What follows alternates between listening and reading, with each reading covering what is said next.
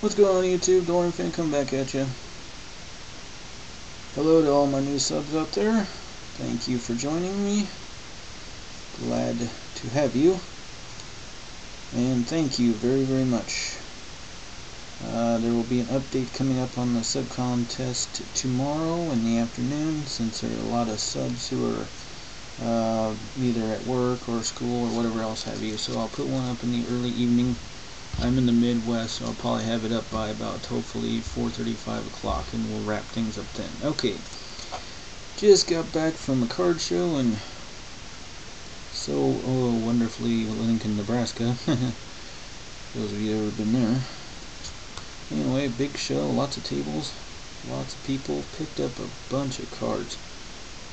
Uh, got uh, just a just a variable junk load. Well, not a junk load, but uh, just a whole bunch of all these were a nickel a piece. A guy was just just giving you a shovel and just allowed you to. God, I bet he had four or five five thousand pound boxes and just let you pick them. So needless to say, I just rated him. Uh, some cooler ones or better ones of note. That is Dan Marino Star Quest. I'm just going to run right through these guys. Really cool Holofoil Neon Deion. Uh, Playoff Honors Elway, that's PC. Playoff Honors Marino. Uh, it's really cool Holofoil uh, Curtis Enis. Uh, another uh, Fleer Metal Marino. It's really cool metal, Fleer Metal Elway kind of refractor, I guess, diamond. Uh, really cool insert, a 3000 passing for Car Carson Palmer. Oh, that guy's no one. Got a Bowman Chrome rookie of uh, Andre Caldwell. Really cool holofoil of Enis. Bears. Uh, Chrome DPP. I'm not quite sure what that set is fixed stock of Benson and Grossman. Sounds like a law firm. Couple of turkey reds of uh, Orton and Benson. Neither of them with the Bears now that I think about it anymore. Uh, Urlacher owners this really cool. Marino still got the original, even though it's not top loaded or sleeve. It's still got the uh, covering on it. Uh, finest of Dan Marino. Cool Stadium Club Ripken. Another Elway Fleer Brilliance. A lot of this stuff is from back when I wasn't collecting actively and never even heard of the sets. And back then, even then, back then, they're probably four and five bucks a pack. Couldn't afford it then either.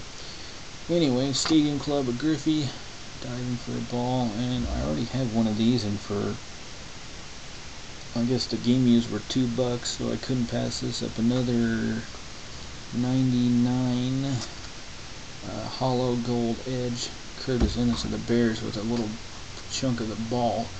You can tell the age because the ball is almost, if I don't know if you can see it with the light in here, but the ball is actually cracking and almost disintegrating, so to bag that up real quick. and even though this was sleeved, this was still in the nickel box. A Leaf Rookies and Stars, Studio Rookies of Garrett Wolfe and Greg Olsen And for for four bucks. Got on to the better stuff. For four bucks, got a Chrome Forte rookie.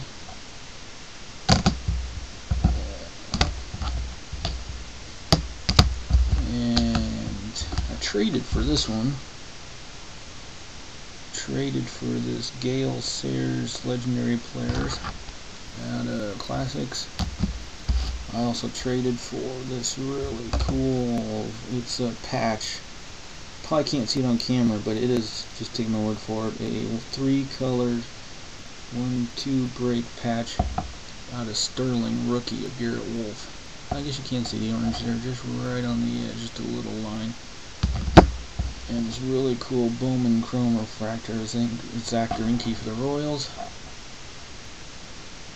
Traded for all three of those yeah, I took four of my cards. I don't know if I got the better deal or not, but anyway. And uh, last but not least, for five bucks, I got another Rookie Authentic Signatures number 21199 of Erik Ainge of the Jets. which this card is like going for in, for being almost 1200 of them it's going for insane prices on eBay so was more than glad to get that the guy bought a card off me for five bucks and threw in some sleeves which I needed so that was pretty cool so uh, and then God I got two bucks the nickel piece and I bought over two bucks in singles so I won't bore you with all those but there's some really cool ones in there anyway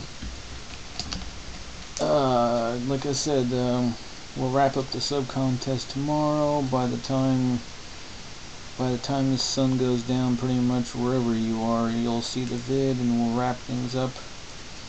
And there's another show in like only two weeks, so I guess I get a little bit of time to sell some more stuff and get some more money. So, hope you enjoyed it, guys. Uh, peace, and uh, I'll check you tomorrow night. All right, guys.